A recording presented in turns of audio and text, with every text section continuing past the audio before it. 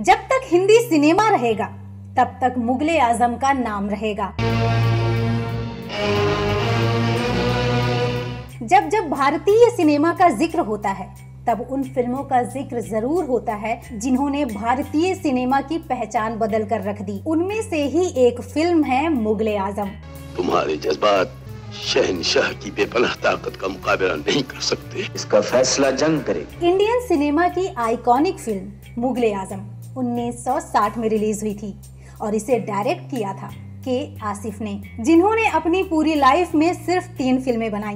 वैसे के आसिफ के ऊपर मैं जल्द ही एक अलग सा वीडियो बनाऊँगी। अभी हम बात कर रहे हैं फ़िल्म मुगले आज़म की। अनारकली कैद कर ली गई और मैं देखता रहा। और तुम कर भी क्या सकते थे? एक अजीम शान शहनशाह के सामने कोई कर भी क्या सकता है? मुगले आज़म में लीड रोल में थे पृथ्वीराज कपूर दिलीप कुमार मधुबाला और दुर्गा खोटे। ये फ़िल्म अनारकली और शहजादा सलीम की अधूरी लव स्टोरी पर बेस्ड है। इस फ़िल्म में प्यार परिवार युद्ध और वफादारी को डायरेक्टर ने बहुत अच्छे से प्रेजेंट किया है। शहजादे क्या जख्म धोए नहीं जाएँगे? ये जख्म नहीं फूल है दुर्जन और फूलों का मुरझाना बाहर की रसवाई है। जितनी खास ये फ़िल्म है उससे कहीं ज़्यादा खास इस फ़िल्म के बनने की कहानी है। तो आइए जानते हैं।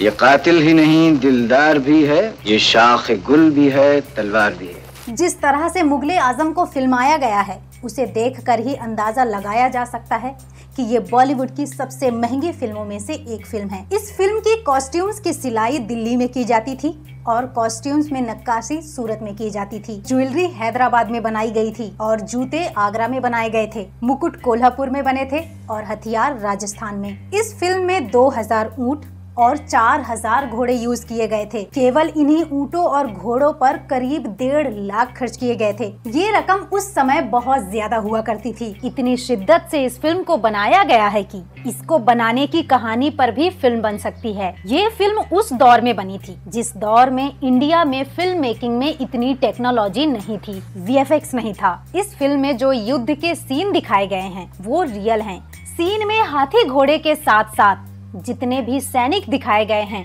वो भी रियल हैं। आज के दौर में इस तरह के सीन वीएफएक्स की मदद से क्रिएट किए जाते हैं। इस फ़िल्म का सबसे महँगा गाना, जब प्यार किया तो डरना क्या?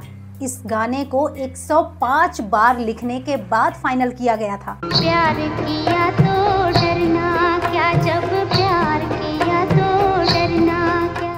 जब हम इस गाने को सुनते हैं तो ये गाना थोड़ा सा इको साउंड करता है। दरअसल इस गाने को लता मंगेशकर ने स्टूडियो के वॉशरूम में रिकॉर्ड किया था क्योंकि उस समय पर रिवर्बरेशन यानी कि इको इफ़ेक्ट नहीं हुआ करती थी। और इस गाने में इको इफ़ेक्ट इसलिए चाहिए थी क्योंकि इस गाने को शीश महल में पिक्चराइज किया जाना था।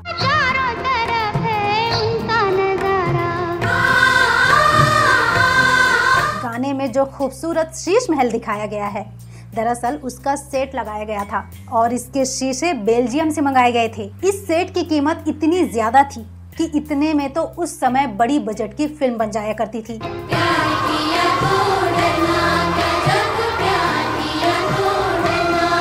फ़िल्म के एक और गाने ए मोहब्बत जिंदाबाद, इस गाने के लिए मोहम्मद रफी के साथ सौ गायकों से कोरस गवाया गया था।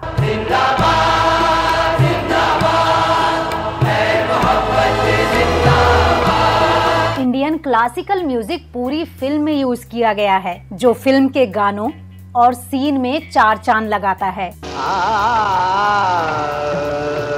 रिपोर्ट्स के मुताबिक इस आइकॉनिक फ़िल्म को बनने में लग गया था करीब 16 साल का समय। कहा जाता है इस फ़िल्म का प्री प्रोडक्शन 1944 में स्टार्ट हुआ था और 1960 में ये फ़िल्म रिलीज़ हुई। उसका ये दावा है कि इस मुजस्मे को देखकर सिपाही अपनी तलवार, शहनशाह अपना ताज। और इंसान अपना दिल निकाल कर उसके कदमों में रख देगा। जब 1946 में इस फ़िल्म की शूटिंग शुरू हुई, तब अकबर के कैरेक्टर में चंद्रमोहन, सलीम के कैरेक्टर में डी के सप्रू और अनारकली के कैरेक्टर में नरगिस थी। इसके बाद 1947 में देश का बंटवारा हो गया, जिसकी वजह से देश के हालात बहुत बिगड़ गए और फाइनेंशियली इशू की वजह से फ़िल्म की शूटिंग रुक गई। इसी बीच खबरें आई।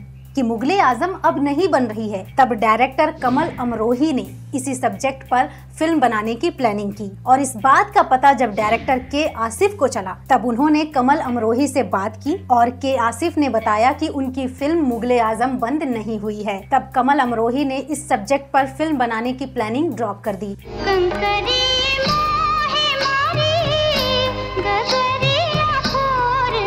और जब मुगले आज़म की शूटिंग फिर से स्टार्ट हुई, तब फ़िल्म की पूरी कास्ट चेंज हो गई थी। जिसमें अकबर के किरदार में पृथ्वीराज कपूर, सलीम के किरदार में दिलीप कुमार और अनारकली के किरदार में मधुबाला थी।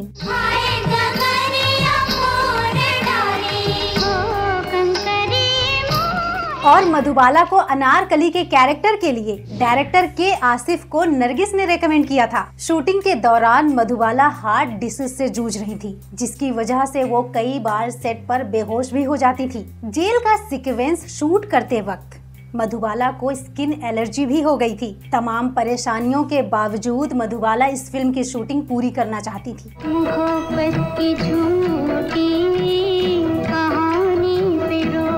डायरेक्टर के आसिफ को मुगले आज़म बनाने का आइडिया। डायरेक्टर आरदेशिर ईरानी की फ़िल्म अनारकली देखकर आया था। ये वही आरदेशिर ईरानी हैं जिन्होंने इंडियन सिनेमा को पहली टॉकी फ़िल्म, यानी कि बोलती हुई फ़िल्म दी, और वो फ़िल्म थी आला मारा दोस्तों आला मारा पे भी मैं जल्द ही वीडियो बनाऊँगी। के आसिफ जब मुगले आज़म बना रहे थे, उस वक्त उनके पास डायरेक्शन का ज़्यादा अनुभव नहीं था, लेकिन उनके पास एक विजन था, एक सोच थी। जिसे वो बड़े पर्दे पर बिखेरना चाहते थे। अपने दौर के डायरेक्टर से अलग और आगे की सोच ने उन्हें उस मुकाम तक पहुँचाया जिसके वो हकदार थे। न सोचा न समझा न देखा न कहा जाता है कि इस फ़िल्म के प्रोडक्शन में के आसिफ को इतनी ज़्यादा फाइनेंशियल प्रॉब्लम हो चुकी थी कि उन्होंने पान और सिगरेट भी उधार लेना शुरू कर दिया था।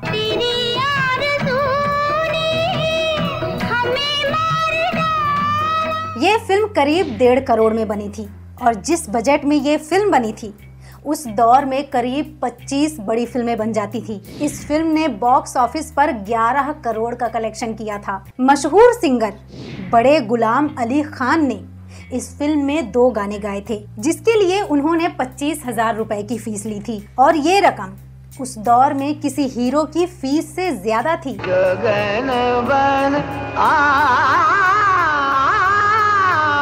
पहले इस फ़िल्म का हिस्सा बॉलीवुड के किंग खान यानी शाहरुख खान के पिता मीर ताज मोहम्मद भी थे। और इस बात का खुलासा खुद शाहरुख खान ने एक इंटरव्यू में किया है। कि मेरे पिताजी ने भी एक दिन के लिए इस फ़िल्म में काम की थी क्या काम किया था।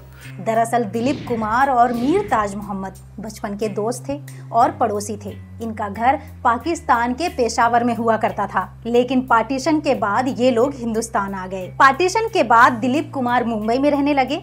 और मीर ताज मोहम्मद दिल्ली में रहने लगे। मीर ताज मोहम्मद बहुत हैंडसम थे और वकालत करते थे। एक बार मीर ताज मोहम्मद दिलीप कुमार से मिलने।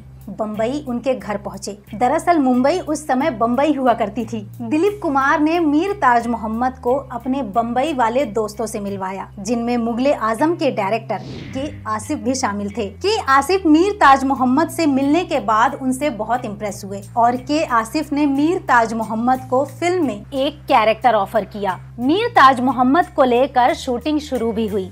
एक दिन की शूटिंग हुई लेकिन मीर ताज मोहम्मद एक्टिंग नहीं कर पा रहे थे। एक दिन की शूटिंग के बाद ये कैरेक्टर के आसिफ ने किसी और को दे दिया। रिपोर्ट्स के मुताबिक वो कैरेक्टर था दुर्जन सिंह का। बाद में ये कैरेक्टर अजीत खान ने प्ले किया। तो फिर एक राजपूत के वचन पर कट जाने वाले सर भी लाखों हैं, शहजादे।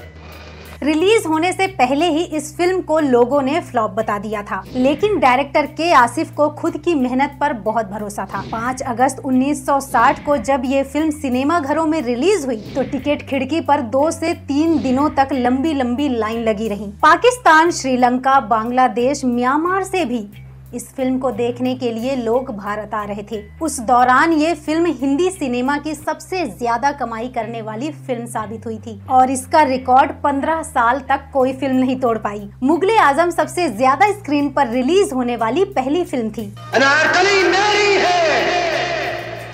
कोई नहीं छीन सकता। मुगले आज़म पर अवार्ड्स की भी बारिश हुई थी। मुगले आज़म ने एक नेशनल और तीन फ़िल्म फेयर अवार्ड जीते थे। ये फ़िल्म पहली ब्लैक एंड व्हाइट फ़िल्म थी। जिसे कलर फॉर्मेट में दोबारा सिनेमा घरों में रिलीज़ किया गया था। मूवी का कलर वर्जन नवंबर 2004 में रिलीज़ हुआ था। फ़िल्म की साठवीं सालगिरह का जश्न मनाने के लिए डायरेक्टर के आसिफ के बेटे अकबर ने इस फ़िल्म के स्क्रीन प्ले को ऑस्कर लाइब्रेरी को सौंप दिया। मार्गरेट हैरिक लाइब्रेरी में इस फ़िल्म का स्क्रीन प्ले तीन भाषाओं में उपलब्ध है। हिंदी, रोमन और इंग्लिश। अकबर आसिफ का कहना था कि इस फ़िल्म का स्क्रीन प्ले कई दिग्गज फ़िल्म मेकर्स ने मिलकर लिखा था और ये दुनिया को पता चलना चाहिए। अमान, कमाल अमरोही, वजाहत मिर्ज़ा, एहसान रिजवी और के आसिफ ने मिलकर मुगले आज़म का स्क्रीन प्ले तैयार किया था। सलाम है आसिफ साहब। और इस फ़िल्म से जुड़े सभी क्रू मेंबर्स को, जिन्होंने भारतीय सिनेमा को ऐसी आइकॉनिक फ़िल्म दी। इस फ़िल्म के सिनेमेटोग्राफर थे आर डी माथुर एडिटर थे धर्मवीर म्यूज़िक दिया था नौसाद साहब ने और लिरिसिस्ट थे शकील बदायूनी। और फ़िल्म के गानों में अपनी आवाज़ दी थी लता मंगेशकर, मोहम्मद रफी, शमशाद बेगम और उस्ताद बड़े गुलाम अली खान ने। फ़िल्म की आईएमडीबी रेटिंग है 8.1 दोस्तों, इस वीडियो में इतना ही। जल्द ही मिलेंगे नेक्स्ट वीडियो में कोई और कंटेंट के साथ। Bye bye